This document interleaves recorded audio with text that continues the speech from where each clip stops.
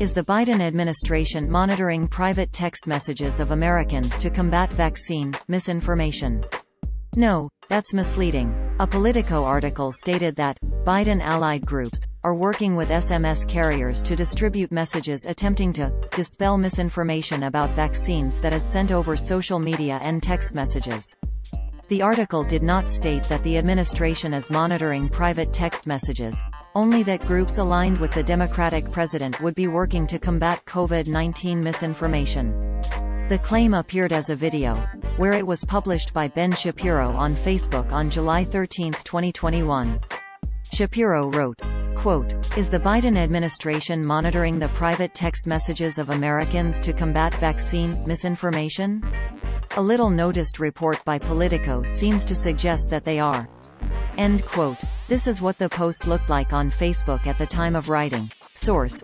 Facebook screenshot taken on Wed July 14 17 hours 23 minutes and 9 seconds 2021 UTC. Shapiro shared a video of conservative host Matt Walsh, who posted a video with the chyron. Biden wants to fact-check your texts. Walsh reads several paragraphs directly from the Politico article that was titled, Potentially a Death Sentence. White House goes off on vaccine fearmongers, that was published on July 12, 2021. This is the Politico paragraph that he focuses on that mentions text messages. Quote, Biden allied groups, including the Democratic National Committee, are also planning to engage fact-checkers more aggressively and work with SMS carriers to dispel misinformation about vaccines that is sent over social media and text messages. The goal is to ensure that people who may have difficulty getting a vaccination because of issues like transportation see those barriers lessened or removed entirely. End quote. At 1.30 in the video, Walsh says, quote, it seems as though they're saying that the DNC is going to be colluding with fact-checkers to monitor our private text messages. All in an effort to head off misinformation. If the DNC is checking in on your text messages, your emails, it's all for your own good. End quote. He continues. Quote, so, I saw this report on Politico and then I was Googling to see if there were other headlines about this and there hasn't been anything. How is this not a big deal at least?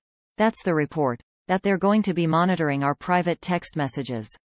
End quote. The Politico article did not say the Biden administration was monitoring personal or private text messages nor did it say the DNC was checking in on your text messages. The article said there was going to be an effort to counter the spread of misinformation regarding the COVID-19 vaccine via SMS carriers sending out messages that people presumably have signed up to receive. The article does not say the SMS carriers will be monitoring or intercepting private text messages.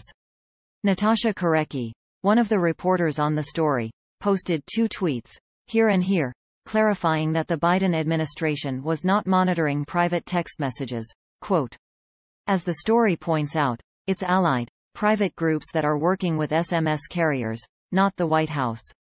Even then, there is no ability for groups to read individual texts aside from the ones they receive themselves https colon slash slash t.co slash Natasha Korecki. At Natasha Korecki. July 12, 2021 End quote. Quote. No. Outside groups are attempting to flag to SMS carriers false information campaigns that are driving misinformation on vaccines https colon slash slash t.co slash rlftalik, Natasha Korecki. At Natasha Korecki. July 12, 2021 End quote.